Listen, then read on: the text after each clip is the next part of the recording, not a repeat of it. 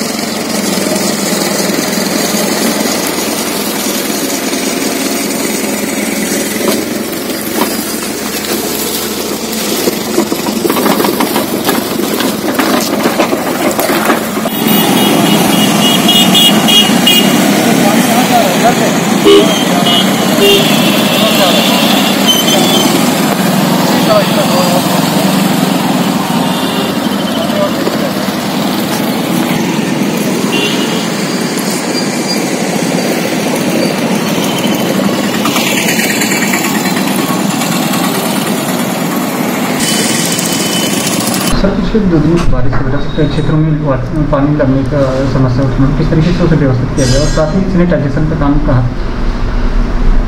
जैसा कि आप पे संज्ञान में होगा कि जो हमारे गोरखपुर जनपद की भौगोलिक स्थिति है, कुछ इस प्रकार से जैसे कि कटोरा का सेप होता है या कढ़ाई का सेप होता है और इसकी वजह से पिछले काफ़ी समय से यहाँ पर जब हैवी रेन होती है तो उसके बाद यहाँ पर जल जमाव हो जाता है वाटर लॉगिंग हो जाती है। और कल जो एक रिकॉर्ड तोड़ बारिश हुई है, जैसा कि आपको समाचार पत्रों और इलेक्ट्रॉनिक चैनलों से भी मालूम चला होगा कि इस मतलब ये पिछले कई सालों की से मतलब का रिकॉर्ड इस बारिश ने तोड़ दिया है। और उसकी वजह से कई जगहों पे वाटर लॉगिंग हुई, जल जमाव हुआ और नगर निगम की टीम सुबह से ही ठीक सात बजे से पूरे अपने अपने कामों में लग गई। जहाँ जहाँ हमारे पास सूचना थी वहाँ पर हमारे स्थायी पंप तत्काल चालू कर दिए गए। इसके अलावा जो हम लोग लगातार विज़िट करते रहे, सारे नगर निगम के वरिष्ठ अधिकारी फ़ील्ड में थे। जहाँ जहाँ वाटर लॉगिंग की खबर पाई, वहाँ पर हम लोगों ने अपना अस्थायी जो पंप है, वहाँ लगवा कर उस पानी को वहाँ से अपने बाहर लगवाया। और दोपहर तक जो है, सारी स्थिति काफ़ी हद तक नॉर्मल हो गई थी। कुछ जगह पानी लगा हुआ था, उसको भी हम लोग जो है, उस पानी को निकलवाया। शाम तक वहाँ की स्थिति ठीक हुई, लेकिन अब कुछ जगहों को देखने के बाद हम वहाँ का स्थायी समाधान करने की कोशिश कर रहे हैं। उसी के परिप्रेक्ष्य में आज हम लोगों के द्वारा जो है सिंगढ़िया एक मदन मोहन मालवीय इंजीनियरिंग कॉलेज, रानी डीहा तुर्रा चाल और महसरा आदि की तरफ़ गए, जाके निरीक्षण किया गया। और सिंगड़िया में जो हमारे साथ सीएनडीएस की भी टीम थी, जो कि वहाँ पर बन रहा नाला बना रहे हैं, उनको भी कड़ी चेतावनी दी गई और उनको कड़े निर्देश दिए गए कि हर हालत में जो अगले पंद्रह दिन हैं हमारे पास मई के लास्ट तक या जून के फ़र्स्ट वीक में हर हालत में इस नाले को कंप्लीट कर दें। अन्यथा की स्थिति में उनके विरुद्ध जो है कार्रवाई की जाएगी। तो एक तो ये आज पूरा निरीक्षण के साथ में हमारे साथ चीफ इंजीनियर साहब भी थे और सब भी लोग थे।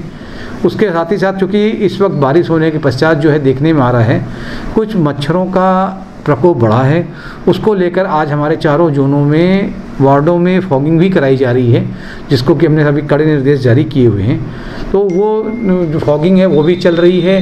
सैनिटाइजेशन निश्चित रूप से कल चूँकि बारिश पूरे समय होती रही तो कल तो सैनिटाइजेशन का कार्य प्रभावित है, लेकिन आज हम लोग सैनिटाइजेशन भी हर जगह करा रहे हैं। और क्योंकि ये कोरोना के संक्रमण की जो चेन है, उसको ब्रेक करने के लिए सबसे निहायत ज़रूरी चीज़ है जिसमें सबसे पहले जो एक सैनिटाइजेशन है फॉगिंग है, विशेष सफ़ाई है तो ये तीन चार जो काम है और जो बायो वेस्ट का उठान है।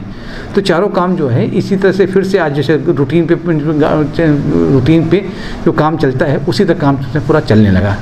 तो कहीं पे कोई दिक्कत नहीं थी। अब जो हमको कुछ जगहों पे जो वाटर लॉगिंग है स्थायी समाधान जैसे नई नई बस्तियाँ बन गई, बहुत से लोगों में देखने आता कि नालों के ऊपर मकान बना रखे हैं, नालों की सफ़ाई करने की कोई जगह नहीं है, वो भी बहुत सी दिक्कतें आ रही हैं। तो हम पब्लिक को भी जन जागरूक करना चाहेंगे कि आप लोग भी इसका भी सहयोग है इस नालों की सफ़ाई की ओर बहुत ज़रूरी है।